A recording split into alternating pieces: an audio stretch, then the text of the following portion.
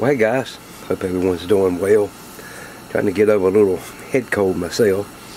Hasn't been going too good.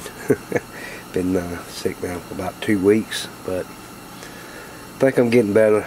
So if I sound funny, it's because my head's still stopped up. And I haven't been out here in the shop much because uh, the heat system went out again. And uh, I went to my local appliance dealer and they weren't able to get the parts so I had to go online and order it. After waiting seven days found out they couldn't get the part so I finally had to go to somewhere else. And what it is the defrost timer board has gone bad. Got 24 volts going to it but it's not kicking the uh, outside unit on. So I got a little propane heater in here trying to get the shop warmed up just enough to uh, make this video you know, a month ago, uh, Retevis sent us this little VHF MURS radio to check out. And I was real impressed about the quality of the way it felt. And actually the way it works. I have uh, been five miles and talked radio to radio with this this unit and they've done pretty good. I can't complain about them at all. The thing was was to tear this one down and have a look at the inside. And again they sent me a couple more radios. Now these are the uh, Retevis RB22. These are DM, DMR digital mobile radio um, UHF ham radios. And again the quality of the way the radio feels. They got some weight to them. They, I mean, it feels excellent. Uh, one thing they did send with these radios was the Retevis programming cable, which I did not have. So now we have a Retevis programming cable in our arsenal. And it looks just like the uh, same one that I've used on uh, Baofeng, which is in the house but uh, it's got you know the chipset in it I guess for DirectFS software. And I downloaded and played with the uh, software for the uh, RB22 so the radio uses the same style SMA connector. To screw the uh, antenna on there's three buttons on the side PTT and there's two buttons that you can program. Now, this radio doesn't have a full programming keypad or menu like you would see on regular uh, ham radios, but it does have what's called a half uh, display. So if we turn it on, you see it comes up Retevis powering on and it comes up channel 16 and then you key it and you see it says call and that actually calls the other radio through the digital system. We can see when I key the mic on this one you'll see coming in there's a call coming in. Test one two. And there's a bit of delay between the two radios because it's digital. So our goal today is not to uh, test the radio to see how the functionality works is actually to tear the radio apart and see how the uh, radio is built and see what type of quality. Again, these are nice heavy radios. We'll start by taking the battery off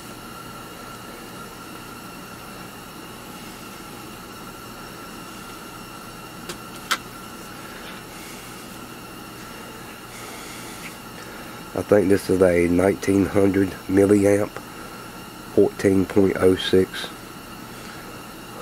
watt hours. It's a LiPo battery pack 7.4 volt. And we look at the back of the radio, again you can see there's a plate in the back of it. And that is metal.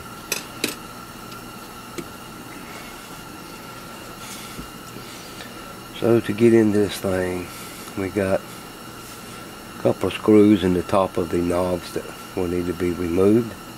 And there's two screws here that needs to come out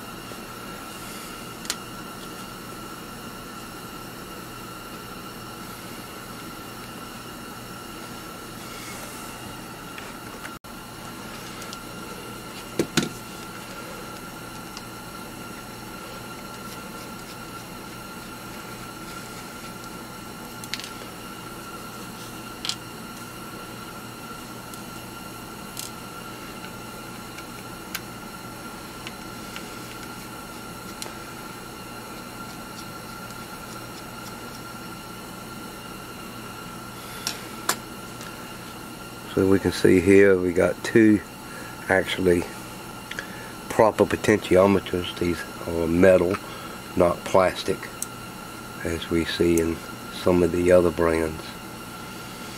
And we got two uh, collars in here that had to be screwed off.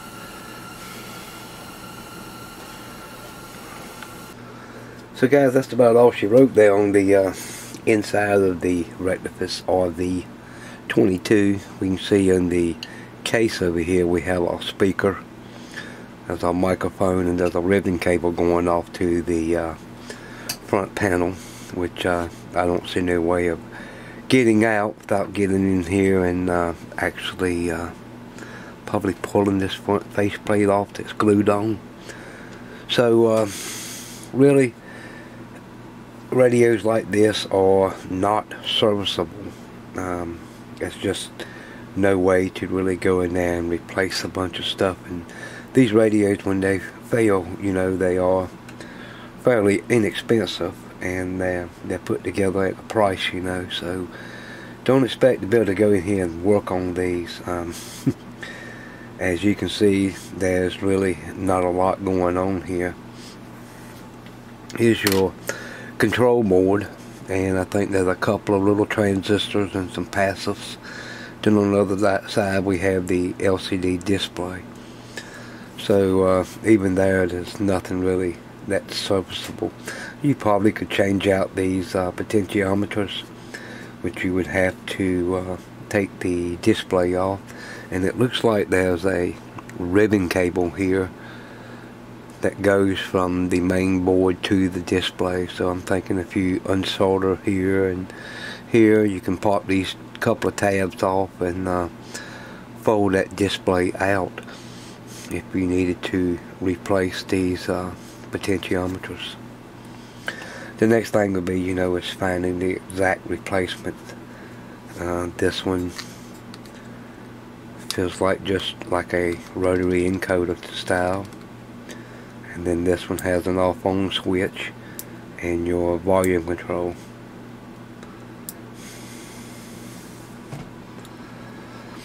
Now one thing you will note that this is plastic but inside it looks like a copper coated material inside of it. So that makes me wonder if that is conductive. We'll just take the uh, ohm meter. I got it set on beep and let's just see if this is conductive. I'll place it here and go down here. And as you see this is conductive. So they thought about that when they was putting that together to help shield RF from inside this radio. That they took the time to uh, coat the inside of the case with a uh, metallic substance to uh, shield RF.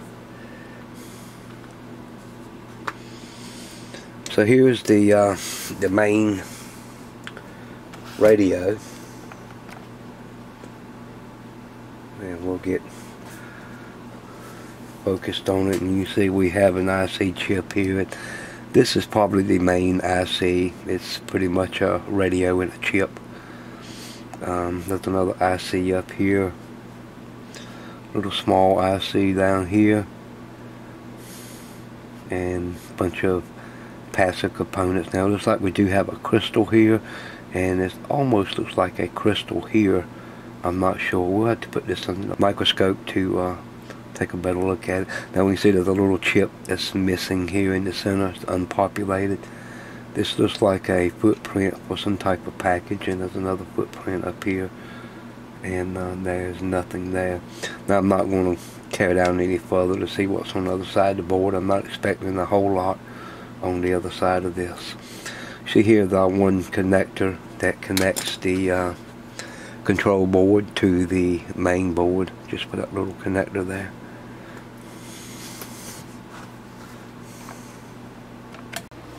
I've got the uh, main board under the uh, AmScope microscope. You can get a look at it and there's the uh, main chip and I know it's hard to read those numbers but uh, it is HZ7837 TWN and under that is TC58 CVG053H and I've looked up those part numbers and not able to find anything on that particular IC chip.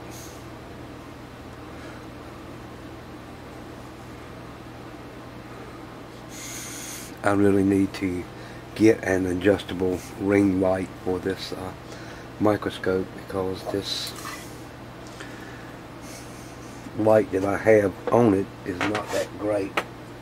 And uh, as you can see it's just a, uh, a fluorescent lamp instead of a good uh, quality adjustable LED lamp. And we'll scan on across it. You can see several different uh, transistor packages.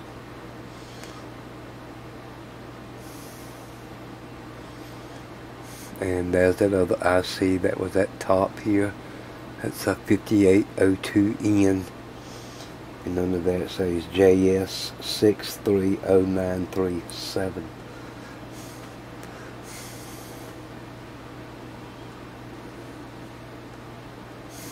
and the package just under that also looks like a uh, some type of crystal sitting right there see if I can focus on that little better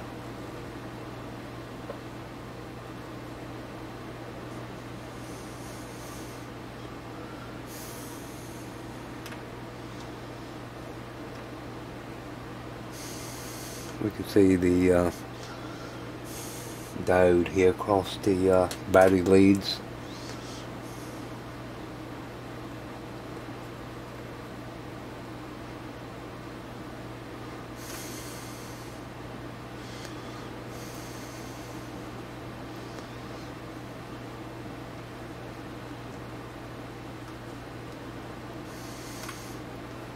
That's the other crystal that we were seeing.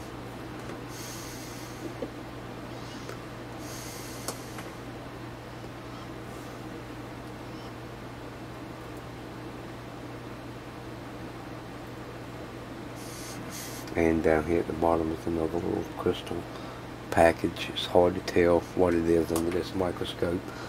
Looking at it this way um, I can look through the microscope and see it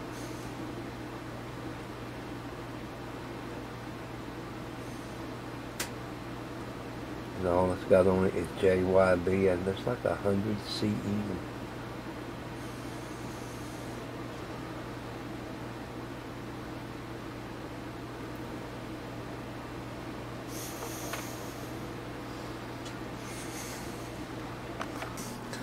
again like I said before not a whole lot here to service and I didn't think there would be.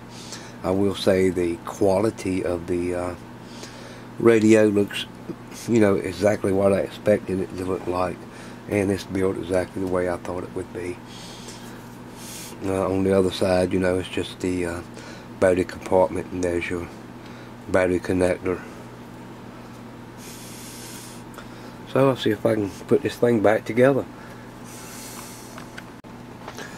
Okay, there you go, all back together and see if it still works.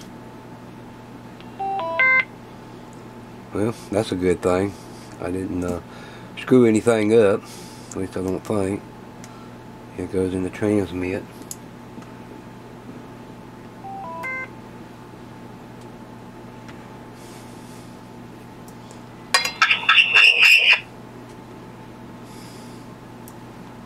Test one, two. Test one, two. Yep, still works.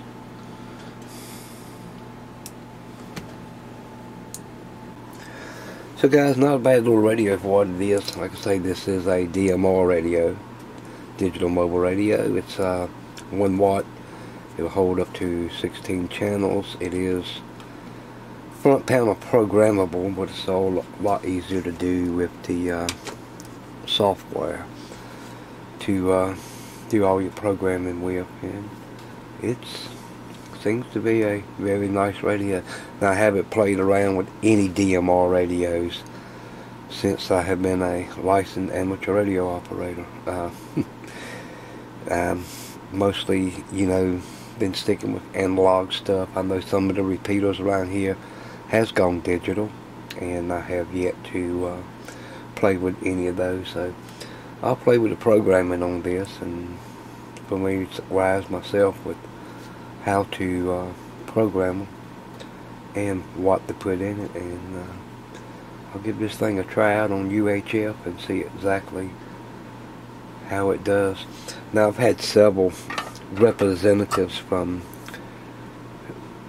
Retevis or Retevis or however you want to uh, pronounce it uh, contact me about reviewing other radios and now I've got one that's uh,